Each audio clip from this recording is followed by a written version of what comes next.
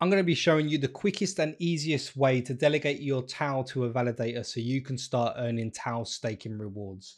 Now, I want to stress that staking TAO is at your own risk and you should only do so if you feel comfortable. If you don't feel comfortable even after watching this tutorial, then maybe hold off and do so when you do feel comfortable. So to begin with, we're going to head over to taostats.io. Taostats is one of the most respectable projects in the space at the moment, and they have this fantastic website that has all the data about the network and price and everything. So we're going to head over to Stake TAO.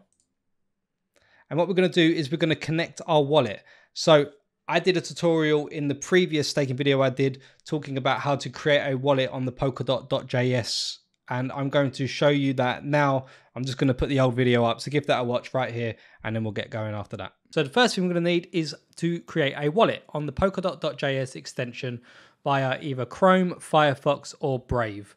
We're going to go to download the extension for Chrome. We're going to go to add to Chrome, add the extension. We're going to pin it, just uh, ease of use. So then look at all the information. Once you've understood it, click continue. So we're going to click the big plus icon here. This is going to add the account to the polkadot.js extension. And here we have the wallet. This is your wallet address. You can copy it here. And here we have the 12 word seed phrase. This is very important. You need to write this down and keep it safe. If you don't have this uh, written down and kept safe, then you may not be able to access your account or wallet in the future. So make sure you write this down, make sure it's safe. Once you have done that, click I have saved my seed safely, and then go to the next step. We want to name our account. I'm just going to call this buy TAO. Once you're happy with your password and you've repeated it for verification, click next. And there we go. We've created a wallet now that we can house our TAO. Now that the wallet's been created, head over to the exchange that TAO is on. At the moment, it is MEXC. Buy your TAO, and then you want to send it to this wallet address so then the TAO shows up in your wallet. We're going to connect this wallet to the Taostats staking section. So we're going to connect wallet via this button. And then once we're here, we're going to make sure that we got the right wallet. And then you've got to choose how much TAO you want to delegate to the validator. So whether that's all of it, you can do it that so, or choose the amount you want to delegate. Then we have to choose the validator we want to uh, delegate our TAO to. Taostats have their own validator section, verified validators.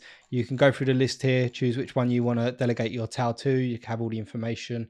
I'm personally going to select Roundtable 21. They're a global advisory network. They're doing a lot of stuff behind the scenes to try and help and guide the project in the right direction, consulting with the team themselves. And uh, they're building a lot of cool shit, some stuff that's going to be coming out soon. So I have personally have uh, a good portion of my TAO delegated to Roundtable 21. It's something that I trust. So we're going to select Roundtable 21 and then select the amount. We're going to go with all of it, and then we're going to delegate. Put in your password.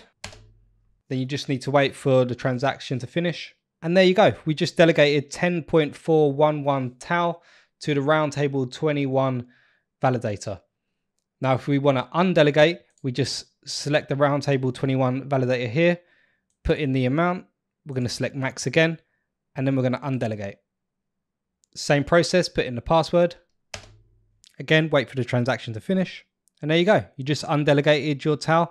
And now you can choose another validator if you want to. You can even split the amount of TAO. So you could say, I want to put five to Roundtable 21, delegate. And then you could say the other uh, five, I want to delegate to Opentensor Foundation. You can do so then. And then your validators will be listed here.